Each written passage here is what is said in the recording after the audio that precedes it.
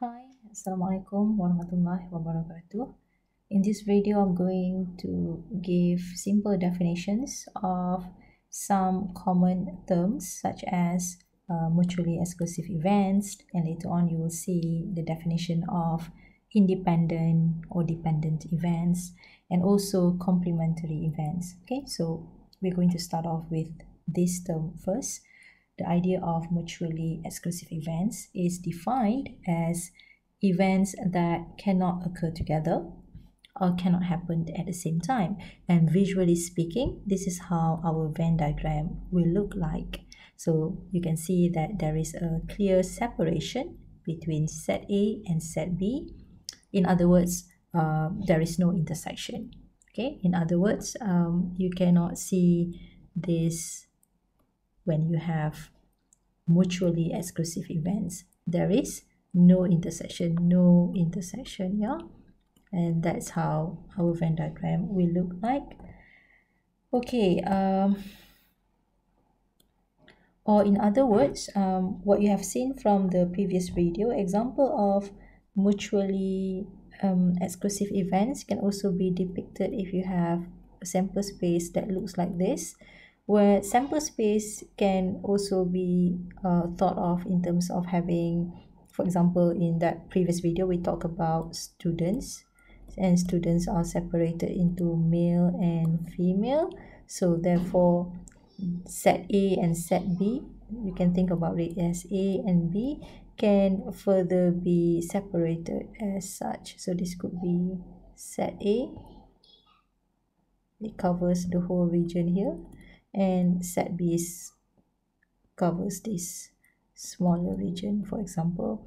So um, in the previous example we have uh, somehow illustrated the idea of mutually exclusive events using a Venn diagram. So those are some of the variation that you can expect from the Venn diagram representation okay? Um,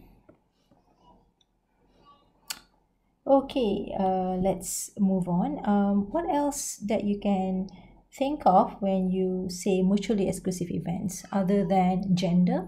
For example male and female? Oops sorry. Male and female. So clearly these two events are mutually exclusive.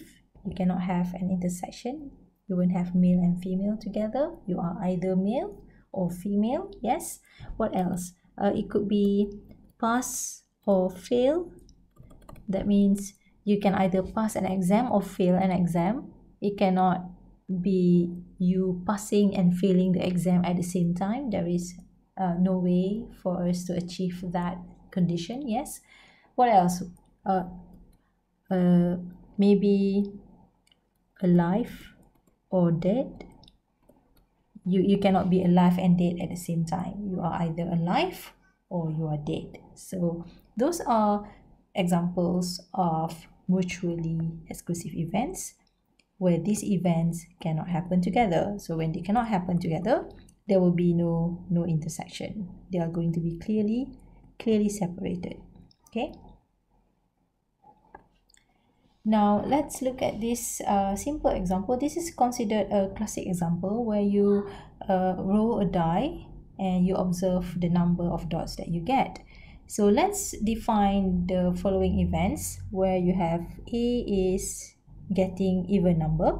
So even number is 2 4 and 6 and b is getting odd number. So odd number is going to be 1 3 and 5 and C is uh, an event where you observe a number that is less than 5. So less than 5 is going to be 1, 2, 3 and 4. So those are three events that are defined and uh, is related to the experiment of rolling a die and observing the number of dots. Yeah. So question here is, are events A and B mutually exclusive? Uh, if they are mutually exclusive like I said earlier there will be no intersection. There will be no intersection. And what does it mean? It means you don't have similar elements in both sets. So in other words no similar elements in both sides. And clearly for this question here, uh, the elements here is 2, 4, 6 and for this one is 1, 3, 5. So no similar elements. And because of that reason, we can say that A and B are mutually exclusive. Now what about A and C? So let's look at A and C. Uh, so you can see that for event A, we have 2, 4, 6 as the elements. And for event C, we have 1, 2, 3, and 4. And clearly, uh, these two elements here uh, are similar okay, in event A and event C. So there are similar events. So there are similar events, which means if you uh, try to visualize this in a Venn diagram, there will be an intersection area where you have elements 2 and 4 residing in that intersection area. Yeah? And because of that, uh, because there are similar events uh, shared between A and C, therefore uh, A and C are not mutually exclusive. Okay, this is as simple as that. Right. Um, let's look at the definition of independent and dependent events. Now, if we have an uh, two independent events, it means that the occurrence of one event does not affect the occurrence of another event. Okay, so in other words, if we give this conditional probability, this is the conditional probability, probability of B given A so A has already happened. So this is already happened. If A has already happened, doesn't matter what it is, it is not going to change the probability of getting B. So therefore, if if the events are independent, doesn't matter that A has already happened here, the probability of b given a is going to be equal to probability of b. So in other words, it is saying that a is not going to change whatever probability is observed for event b. So this conditional probability given a has already happened is going to be similar to the probability of getting event b. It's not going to change. Okay. And similarly, if you use this notation, okay this is another notation um, sometimes people are more comfortable writing in this manner so it means here in this case that uh, this is the conditional probability conditional probability and which event has already happened. You can see that b is the event that has already occurred. Okay so this one is already happened. So doesn't matter what happened to b it is not going to change the probability for A. So that's why on the right hand side here, A is going to, the probability of A is going to be um, as it is. Conditional probability of A given B is going to be similar to the probability of getting A itself. Okay. Now for dependent events, if the events are dependent, that means um, when A happened, so when A is observed, therefore the probability of B given A is not going to be similar to the original probability of getting B. So that means when A happens, it is going to to alter the original probability of getting B. So it is no longer equal in this sense. Okay, so probability of B given A is not equal to probability of B and vice versa. I think um, in order to see this clearly, we should go and look at the example. Yeah. Okay, let's talk about whether the event female and in favor are independent or dependent. All right, again, uh, if, okay, if events are independent, this is what you should prove. You should prove that A given B is equal to A. Probability of A given B is going to equal to probability of A. So in other words, when B happens, when B has already been observed, uh, it doesn't matter what it is. The probability of A given B is going to be equal to the original probability of obtaining A. Okay, so this is uh, the idea of independent events. It doesn't change the probability of A. Whatever happens here, it doesn't change the probability of getting A. So we can see that in this case, uh, we need to know or we need to show is it true that probability of female given in favor is it going to be the same as probability that person is a female. Yes? So um, we we know that probability of female is probability of female is 40 over 100 so probability of female is 0 0.4 in this case. And now we need to find what is this result here on the right hand side so uh, probability of female given in favor according to the formula is just like I said we're going to consider the top part here is the intersection between these two events which means probability of female intersect with in favor. And since this event is already happened you should be able to find the probability of it and that information is going to be supplied right at the bottom here. So probability in favor. Okay. So the top part here we're going to look at the probability of that person being female and in favor. So female and in favor is this one. Female in favor. So probability is 4 over 100 so this is 0 0.04 yeah 4 over 100 next um probability of of it in favor. So in favor we need to find the number of people in favor. The number of people in favor is 15 plus 4 which is 19 so 19 over 100 is going to be 0 0.19 and so the answer here is going to be about 0 0.2105 okay? 0 0.2105 and I'm sure that you can clearly see that 0 0.2105 is not the same as 0 0.4 and therefore we can say that uh, these two events they are actually dependent.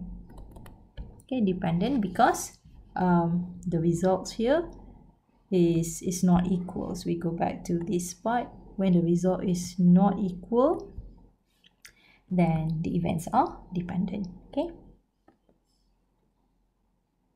Okay what is uh, an alternative way of solving this problem? So here here we've considered female given in favor. We can also use uh, the other way around. We can also approach this problem the other way around which is uh, probability of in favor given female and you need to see whether the result here is similar to probability that person is in favor of the statement. Now we know that the probability of the person in favor in favor is going to be um, 19 so 19 over 100 yes? 19 over 100 so this is 0 0.19 so now we need to see whether the left hand side here is equal to 0 0.19 or not. If it is equal then they are independent. Independent means uh, the result on the left side and the right side is equal. Let's move on and find what's the answer to this one. And according to the formula it's going to be first we got to find the intersection between in favor and female. And since this event has already happened female you know that this already happened so you should know what's the probability of it. And we're going to supply that information right here at the bottom probability of it being female. Okay? Now uh, what's the probability of this event at the top part? We have in favor intersect with female. So here we have in favor intersect with female and it's going to be 0 0.04 so 0 0.04 and what's the probability of female? Female is this part. So total number is 40 40 over 100 which is 0 0.4 and the answer here is going to be 0 0.1 clearly uh, you can see that um, 0 0.1 is not the same with 0 0.19 okay and therefore for that reason you can say that female and in favor they are dependent events because of this result that you have observed just now huh? okay let's move on to the idea of complementary events uh, the complement of event A is denoted as A prime. Uh, sometimes it is also given a different notation. For example, A bar. So that is the complement of event A. It is a totally opposite statement of A, basically. So here A prime or A bar is the event that contains all the outcomes of an experiment that are not in A. So therefore, the following equation is true. For example, PA plus PA prime is equal to 1. So one way of visualizing this, like I said earlier, if you have a Venn diagram, for example, S is your sample space. And uh, let's go back to the idea of sample space being students. Okay, so in, in the previous example, we've got sample space of 100 students. And that 100 students uh, can be seen to be male and female and therefore you have an event. So we can see we can think about it as this is the male event and this is the complement of male events. The complement of male event is definitely a female event. It is the same thing. So here we've got m and m prime. The complementary of male event is this one. This is the male event. And therefore um, according to the rule of probability the probability of male plus the probability of its complementary so complementary of male here is going to be equal to 1 because the probability of the whole sample space is 1 and we have actually uh, seen that in the in the previous um, Google Meet session. Yes? Okay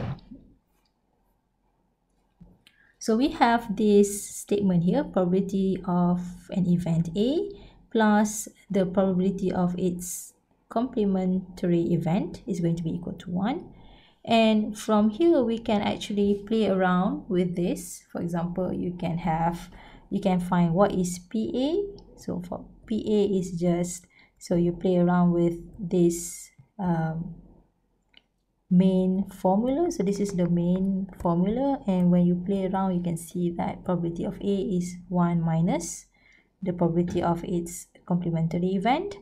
You can also find what is the probability of A prime. So probability of A prime is just 1 minus PA. So basically this is just uh, playing around with the with the main equation here. Okay. Now let's look at a simple example here. Uh, in a group of 20,000 taxpayers, 4,000 have been audited by Lembaga Hasil Negeri at least once. So if one taxpayer is randomly selected from this group, what are the two complementary events for this experiment and what are their probabilities? So here we can clearly see that um, total number of subjects that we have or total number of elements is going to be 20,000 and uh, we have the number of people audited. The number of people audited is 4000 okay so these are the informations that you can get straightforward from the example given above. Now I can define uh, an event. So I'm just going to write down an event. My event is called A. So A is the event where taxpayer has been audited at least once. So this is the definition. At least once means it has been audited one time, maybe two times, three times, sorry, three times and more than that. So these are the group of people of taxpayer that has been audited at least once.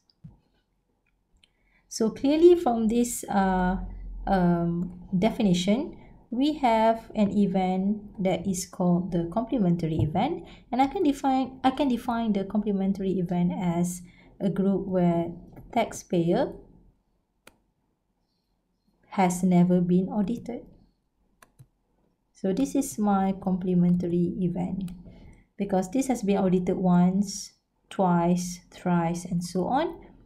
Therefore, uh, taxpayer has never been audited. That means the number of times the person has been audited is actually zero. So this one is one two three four five and so on.